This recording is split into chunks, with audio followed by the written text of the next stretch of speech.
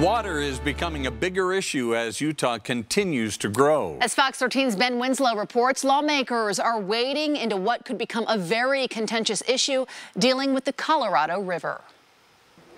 It's been said that here in the West, whiskey's for drinking and water's for fighting. The House Speaker and Senate President are gearing up for what could be a fight over water rights and Utah's future. Water can be a pretty contentious issue. The Colorado River runs through Utah and Arizona, Nevada, and California before ending in Mexico. It provides water for millions of people in agriculture. Utah is a part of a compact with six other states to share it. A bill being run by the House Speaker and Senate President would create a new authority to assert Utah's claims to to the river in the face of growth in our state and across the West. It's designed to ensure that we just protect uh, our share of the water that we have negotiated 100 years ago in the Colorado River.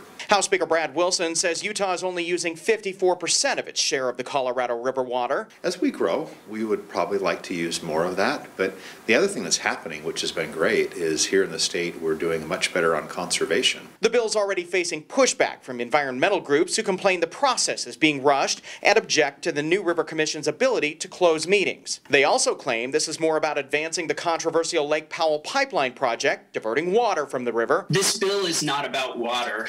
This bill is about money. This bill is about special interest politicking. It's about climate change denial.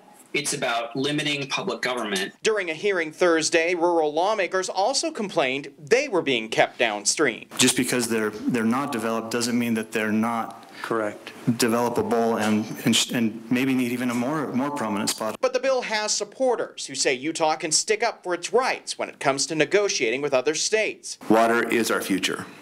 And uh, the competition over that water is not going to get any less going forward. Protecting Utah's rights on the Colorado River is paramount to that future. The committee voted along party lines to advance the bill. They've been beating us to the punch, and it's about time we punched back. The bill now heads to the full House of Representatives, but given who's running it, you can expect it will go through. On the Hill, Ben Winslow, Fox 13 News, Utah.